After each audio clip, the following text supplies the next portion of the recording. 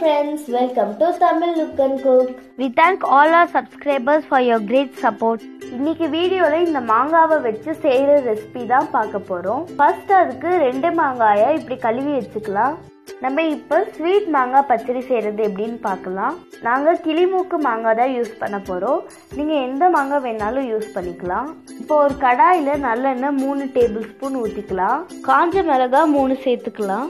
இப்போ கட் பண்ணி வச்சிருக்க மாங்காவை சேர்த்துடலாம் இப்போ இதுக்கு தேவையான உப்பு ஒன் டீஸ்பூன் சேர்த்துக்கலாம்.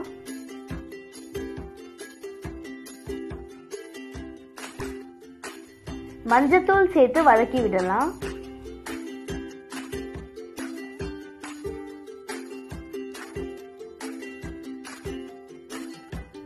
அடுத்து மிளகாத்தூள் ரெண்டு டீஸ்பூன் சேர்த்துக்கலாம்.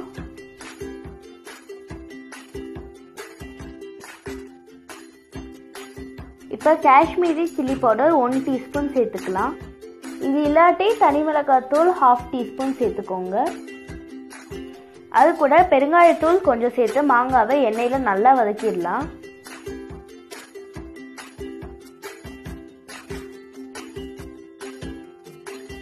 இப்போ மாங்காய் நல்லா வதங்கிருச்சு இப்போ மாங்காய் வேக வைக்க அரை கப் தண்ணி சேர்த்து வதக்கி மூடி போட்டு அஞ்சுலேருந்து எட்டு நிமிஷம் மூடி வேக விடலாம்.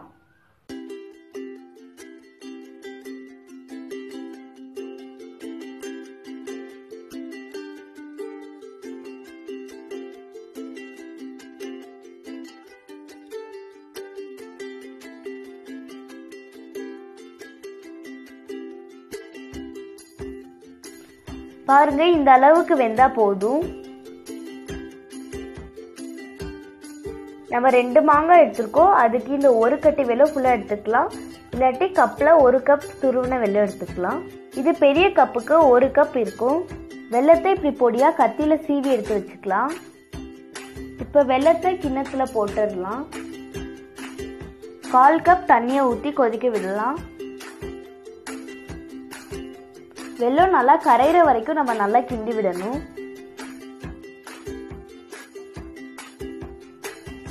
வெள்ளம் கரைஞ்சிருச்சு. ஒரு ரெண்டு நிமிஷம் கொதிக்க விடலாம்.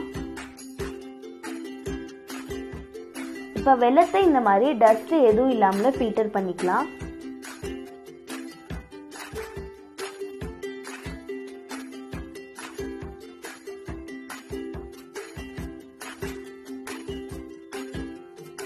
இப்படி ஃபில்டர் பண்ணா இந்த மாதிரி சின்ன சின்ன டஸ்ட் எதுவுமே இருக்காது.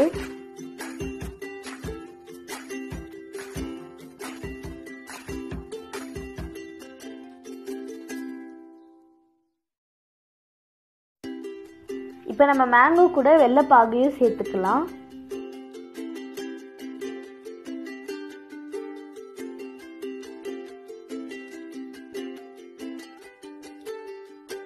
இப்போ நம்ம ஊற்றிருக்க வெள்ளம் நல்லா சுண்டுற வரைக்கும் மாங்காவை கிண்டி விடணும். இப்போ வெள்ளைப்பாகு சுண்டட்டும் அதுக்குள்ளே நம்ம பச்சடியை தாளிக்கிறதுக்கு ரெடி பண்ணிக்கலாம். இப்போ பச்சடியை தாளிக்கிறதுக்கு ஒரு பேனில் நல்லெண்ணெய் ரெண்டு டீஸ்பூன் சேர்த்து சூடானதும் கடுகு உளுந்து ஒரு டீஸ்பூன் சேர்த்துக்கலாம். கடுகு பொரிஞ்சதும் கருவேப்பிலை மூணு காஞ்ச மிளகாவை பிச்சு போட்டுடலாம்.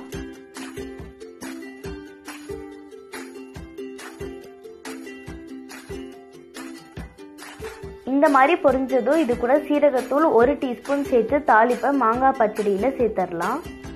மாங்காய் சாப்பிட்றது உடம்புக்கு சூடு.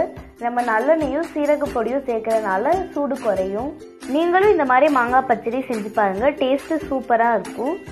வீட்டில் சின்னவங்க முதல்ல பெரியவங்க வரைக்கும் யாருக்குமே மாங்காய் பச்சடி பிடிக்காமல இருக்காது. கண்டிப்பாக இதை ட்ரை பண்ணி பாருங்க. பார்க்கும்போதே சாப்பிட தோணும் இந்த மாங்காய் பச்சடியை செஞ்சு பார்த்துட்டு கமெண்ட் பண்ணுங்க. இனி அம்மாவின் கைமணம் உங்கள் வீட்டில்.